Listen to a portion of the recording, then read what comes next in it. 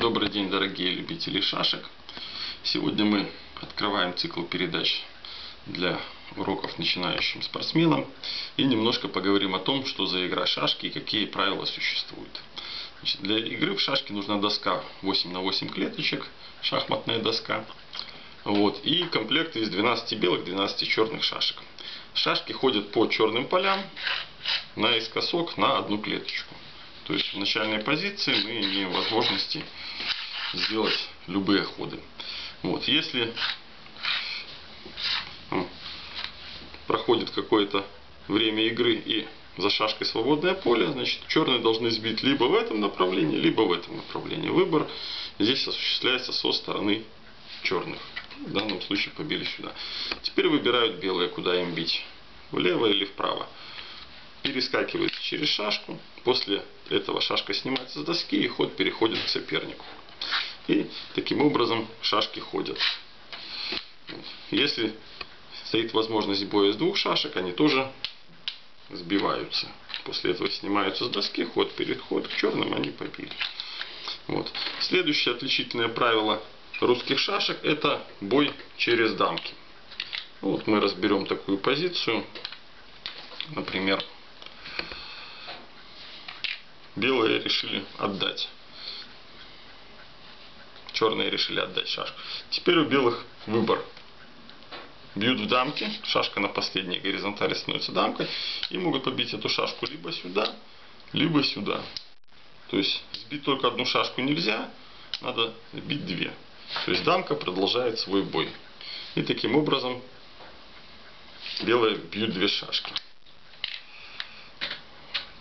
Вот. Значит, шашки ходят друг напротив друга, и задачей белых и черных в данном случае является уничтожение либо лишение ходов шашек соперника. Ну, например, ну, не знаю, возьмем такую позицию. Да. Как мы видим, игра закончилась, но у белых остались шашки. Вместе с тем ни одного хода у них невозможно, они вынуждены сдаться, потому что черные победили. Знаете, если хоть черных, допустим, они сдаваться можно в шашках в любой позиции, если видите, что позиция проиграна и ходов вам не осталось. Вот. И следующий момент, который разберем, это как работает дамка. Значит, любая шашка, которая доходит до последней диагонали, горизонтали, становится дамкой. Значит, дамка если шашка ходит на одно поле, дамка ходит на любое количество клеток по диагонали. Да, то есть может пойти сюда, либо так. И бьет то же самое. При этом дамка должна сбивать все шашки, которые попадаются на ее пути, между которыми есть свободные поля. Вот. Выбор того, как бить, остается за белыми. Да, ну, в данном случае вот разберем такую позицию. Смотрите, что получается. Белая дамка может побить раз, два, три, четыре, пять шашек. Эту шашку она уже забивала, два раза забивать одну и ту же шашку нельзя. При этом, допустим, она может выбрать и бой в другую сторону, сюда. И далее она может побить всего 4 шашки, да, тогда это останется. Либо может побить все 5 шашек и остановиться на любой клетке после последней сбитой шашки. И после этого снять шашки в порядке того, как они сбивались. Если стоит позиция, ну допустим,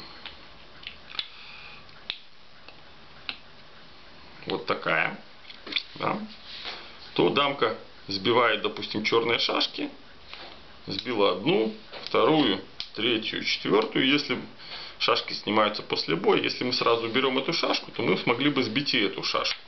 Но по правилам шашки снимаются только после боя. То есть дамка сбивает и останавливается на любом из этих трех полей. Конечно, выгодно остановиться на этом. И когда мы снимем шашки, мы увидим, что белые легко выигрывают. Вот вкратце правила, по которым играют в шашки.